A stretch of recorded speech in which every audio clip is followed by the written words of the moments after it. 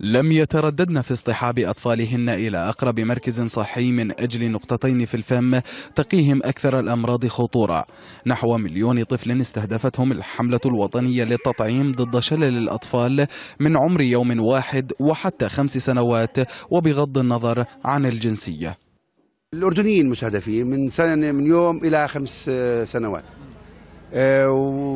والأطفال الموجودين عندنا السوريين أو كان آه، إحدى الجنسيات الأخرى نفس الشيء يعني إحنا بنستقبله والمطعوم مجانا طبعا.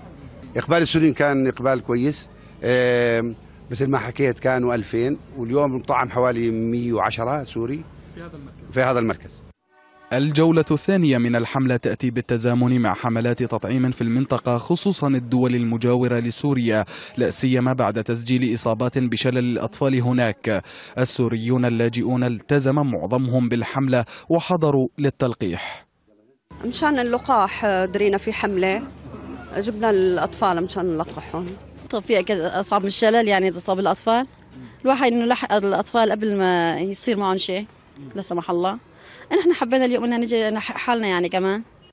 أكثر من 72 ألف طفل سوري تلقوا التطعيم في المدن والمحافظات والمخيمات. ففي الزعتر وحده تلقى نحو 16 ألف طفل اللقاح فيما تابعت الحملة أولئك الذين يسكنون تجمعات عشوائية بين المناطق السكانية في المدن.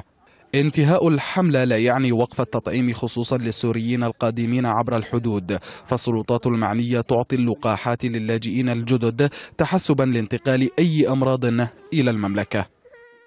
في الأردن لم تسجل أي حالة شلل أطفال منذ أكثر من عشرين عاما وما زال يحافظ على سجله نظيفا من هذا المرض. لكن القلق يعود مجددا خصوصا بعد ظهوره في سوريا واحتمالية انتقاله مع اللاجئين.